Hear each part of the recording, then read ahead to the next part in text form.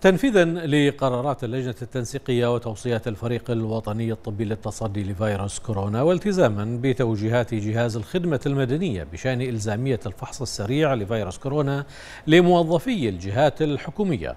بدأت وزارة الإعلام اليوم بإجراء الفحص السريع لجميع الموظفين المتواجدين في العمل وفق إجراءات احترازية وتدابير وقائية لضمان صحة وسلامة جميع الموظفين.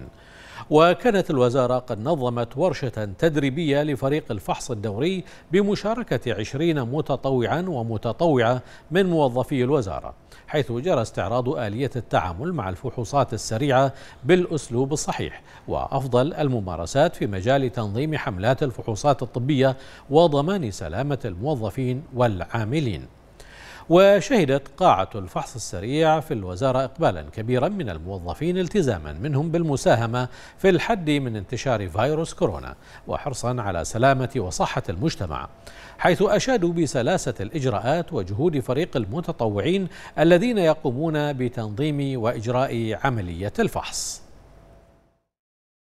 تنسيق حكومي مستمر بهدف دعم وتعزيز الجهود الوطنية للتصدي لجائحة فيروس كورونا واستكمالا للإجراءات الوقائية والاحترازية من الفيروس.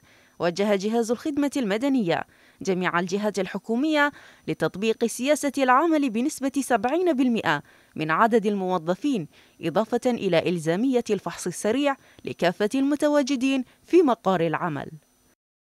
هذا وبدأت الجهات الحكومية بتطبيق هذه الإجراءات لدعم الجهود الوطنية للتصدي للجائحة وتأتي هذه الخطوة للحد من انتشار الفيروس والكشف المبكر عن الإصابة عبر المسحة الأنفية مع تشخيص حالة المريض بدقة خلال 15 دقيقة دون الحاجة إلى مختبر متخصص.